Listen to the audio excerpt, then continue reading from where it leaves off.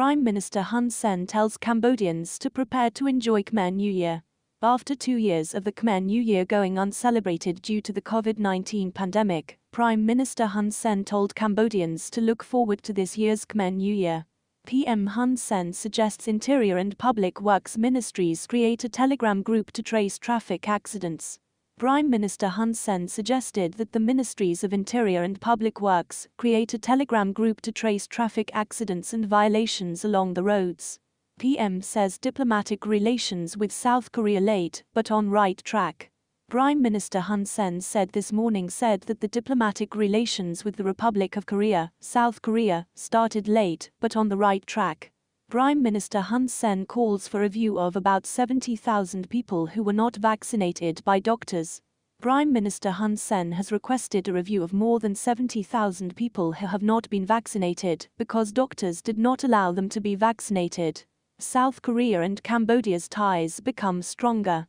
Prime Minister Hun Sen said that ties between South Korea and Cambodia have become stronger as it has given a great deal of assistance to Cambodia. South Korea to build bridge connecting Phnom Penh and Arey Ksat.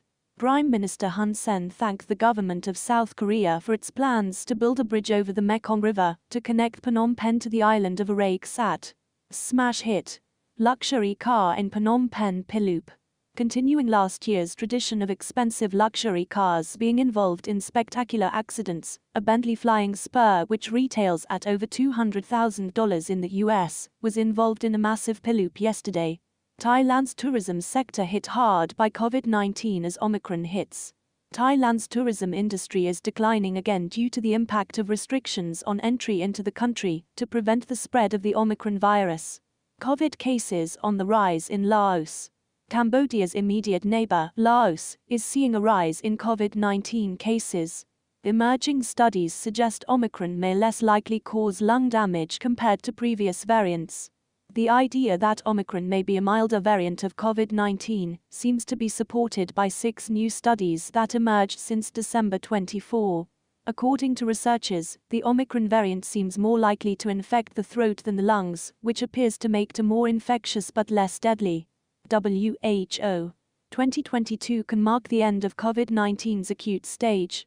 World Health Organization, WHO, Director General Tedros Ghebreyesus, reminded that it was two years ago, as people gathered for New Year's Eve celebrations, that a new global threat emerged.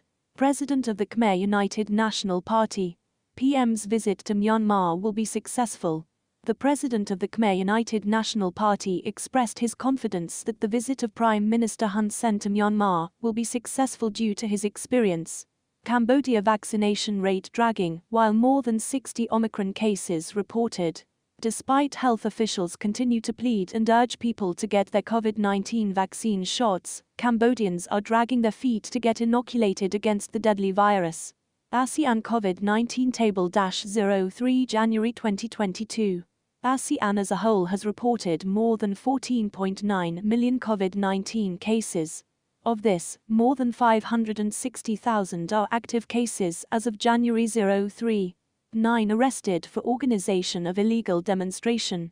Authorities recently confirmed the arrest of nine people charged with organizing an illegal demonstration at Nagaworld.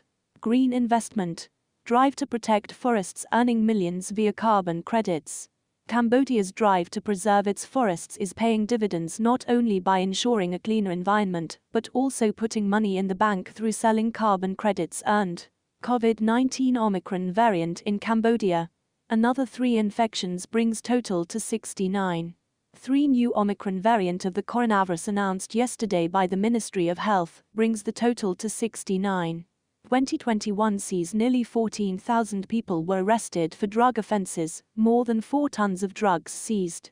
From January 1 to December 31, 2021, law enforcement forces cracked down on 6,242 drug crimes nationwide, detaining 13,765 people, including 802 females. Foreigners accounted for 362 people, of whom 45 were women deadly start to 22 with traffic accidents claiming 15 lives and 22 injured. Deadly traffic accidents on Saturday, January 1, 2022, claimed 15 lives with 22 were injured, 18 of whom are in serious condition in traffic accidents across the country. Hun Sen to initiate groundbreaking ceremony for the upgrade of $100 million National Road Number 48 this morning. This morning, Prime Minister Hun Sen is scheduled to preside over the groundbreaking ceremony for the $100 million 148-kilometer National Road 48 project in Koh Kong Province. Cambodia vows to strengthen ASEAN's centrality for regional peace, security, prosperity, Cambodia, the incoming chair of ASEAN for 2022, vowed to strengthen ASEAN centrality in order to maintain and uphold peace, security and prosperity, the country's foreign minister Prak Sokhonn said. Overseas Vietnamese, including those in Cambodia, plan visit for Lunar New Year, but face uncertainty. Sim Chai, who lives in Cambodia, says he was pleased to hear about the resumption of flights to Vietnam.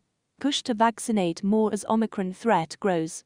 Amid Omicron and other variants of the COVID 19 virus, health officials are pushing harder to inoculate more people, and the health ministry is also urging more than 72,000 people who haven't received jabs due to health problems to consult with doctors again to study the possibility getting vaccinated. ECCC plans $16 mil 2022 budget. This year the Supreme Court Chamber of the Extraordinary Chambers in the Courts of Cambodia, ECCC, will spend $16 million for its work, meanwhile it is expected to announce Khieu Samphan's verdict in the fourth trimester of 2022. Bomb blasts will not affect PM's visit to Myanmar this week. Cambodian analysts and diplomats expressed their belief that two bomb blasts near the Cambodian embassy in Myanmar on Friday will not affect the upcoming official visit of Prime Minister Hun Sen this Friday. Cost of net houses discourages organic farming. There are many factors slowing the progress of producing organic vegetables in the kingdom, including the farmer's budget, technical expertise, markets, weather and planning. CPP says the law allows for anyone to be a candidate for PM Prime Minister.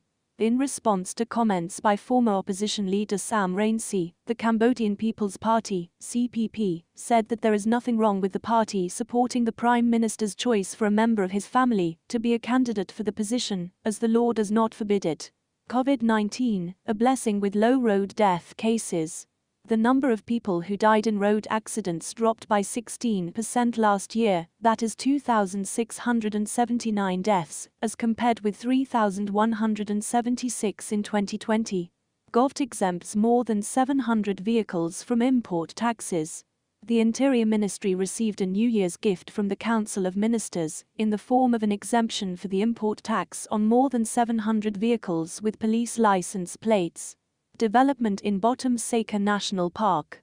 Koh Kong Provincial Administration is examining a request from Angkor and Nihar and Company to invest on 6,145 hectares of land inside Botum Sakor National Park.